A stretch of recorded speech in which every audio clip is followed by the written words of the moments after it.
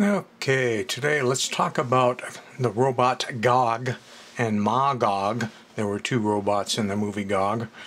And um, for many years I've been thinking about doing a 3D printed version of it, which of course would have to have some sort of battery operated functions. But there's a couple things that keep turning me off on the project. I'm going to go over all of that. But first, for any of those that uh, really aren't familiar with Gog, here's a a page that you can kind of freeze frame if you will and you'll see that it, the one's referred to as Gog and the other one is referred to as Magog. And they were uh, mobile robots that were controlled by a computer NOVAC. And that NOVAC stands for something which is too complicated to remember so let's scroll back up here. It says it in here somewhere. Uh, scientists here we go uh, Nuclear Operative Veritable Automatic Computer, or NOVAC for short. And basically, the plot of the movie is that when they built that NOVAC, someone hacked in and put a radio control system in it.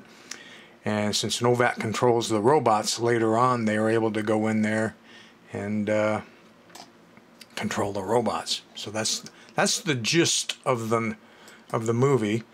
Uh, the biggest problem you have with the when you watch this, and I'll put a link. There's a lots of links on YouTube to the to the, not only the movie but to shorts from it. And there's one I like because it just has like the robot scenes from the movie. Uh, it, they were just on rollerboards, uh, casters. These are just a lot of stills that I found online, which I thought would all help if I decided to do it, you know, pull out little details like the number of rivets and where the holes were and how the claws were shaped and the kind of metal they used in places, the lobby cards. I mean, it uh, it kind of looks like they just took some old watering buckets you'd use on a farm back in the 40s and 50s and stood them end on end on a wood box. But uh, the color version, there there's apparently a high def color, full color set of black and white version out on DVD now, or has been for a few years. So now we can see versus black and white that the thing actually had some color to it. The main body was kind of a, a Robocop light blue and then kind of a silver gray on the rest of it. Um, we're getting to some of the parts that I really don't like about it. I like the base, I like the body, I like the arms. Uh, from the neck up, it's just stupid. it gets even worse. There's a, a, clear cage up here with some vacuum tubes in it, and there's these whip antenna poles with little bits. I mean, what do you do with that when you decide to 3D print something like this? Now, these tracks, which are only visible on the front part of it, do not move. That's just rubber. They don't even try to make it look like it move, and it's good because the robot never really rolls forward and backward. It's just kind of scooting around on its casters, sort of like a, an early Doctor Who Dalek type thing going on there. In fact, Doctor Who kind of looks like it might have borrowed a lot of things from it because it's got like the the stock eyeball thing sticking out here, the roller caster action. But here you can kind of see this plastic box, vacuum tubes, large resistors stacked in it. This is just wedged up on on the front of this dome. And here you have the uh, stupid whip antennas, and then there's another antenna thing uh, back behind that. I mean, I really like this design. This part's good. and it just gets stupider as it goes up. I can put up with the uh, wash basin body. The arms are kind of cool. I don't really care for the one that looks like, a you know what, hanging off the front. Uh, you got your forearms and then the you know what. And that goes on up. Uh, it just it just gets worse and worse. But if we 3D printed it, obviously all these little detail parts are going to have to be wires because you can't print something that small. And by the time you get up here, you go, what are you going to stick these wires on? They're going to get broken and bent. And, and this really dumb part, which thank God doesn't show up all that well in most of the pictures.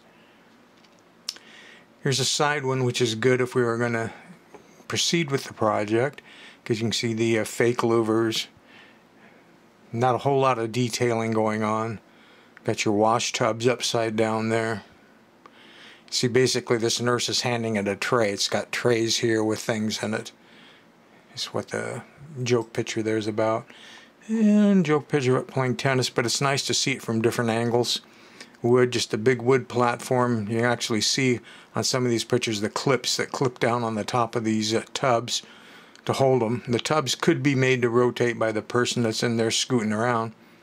I guess they would have been on all fours, which is why it never scooted around well, bent over, because you, you, even if you were scratched down on your hands and knees and your head up in here, it'd be kind of based on a probably a five foot three tall girl or something. You'd have to be pretty small.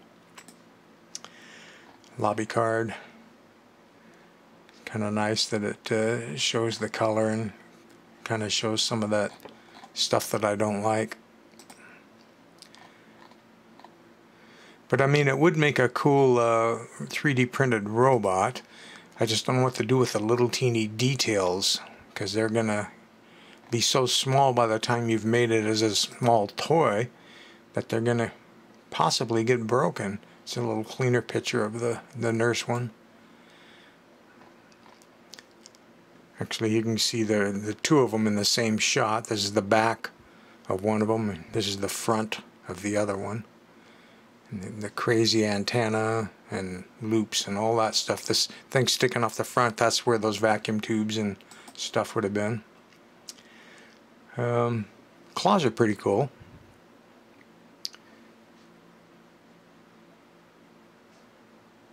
I was thinking it would probably make a good bump and go uh, toy because it has the mystery action. If you watch the clips in the movie, you'll see it never rolls forward like it's actually on treads or anything. It's just kind of scooting and hovering and spinning around.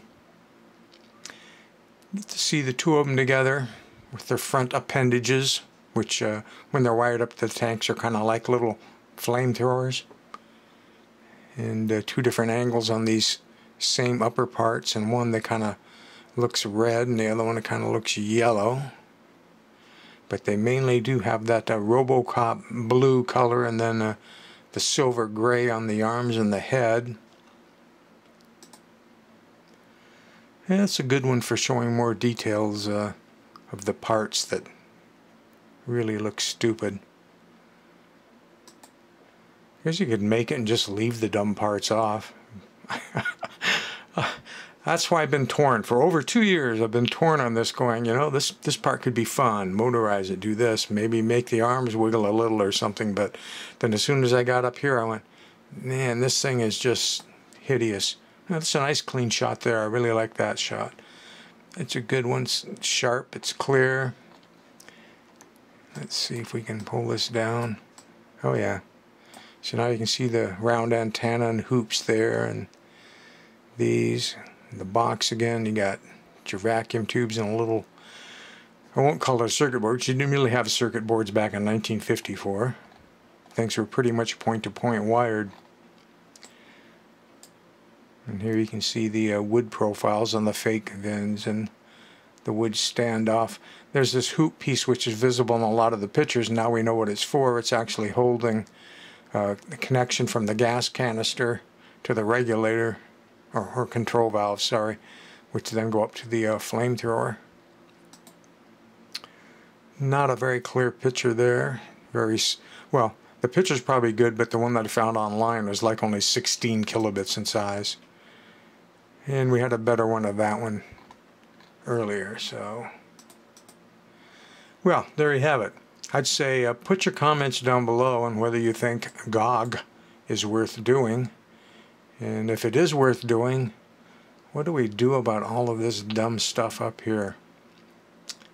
Everything, everything from the neck up is stupid, and uh, keeps turning me off. Where I keep going, yeah, this this could be fun. This this could be cool. Uh, all the arms could be fun. And then you go, yeah, boy, it's like they ran out of money and ideas at this from here on up. But uh, what do you want? It was 1954. They didn't have a whole lot of things to look back on and and all that kind of stuff.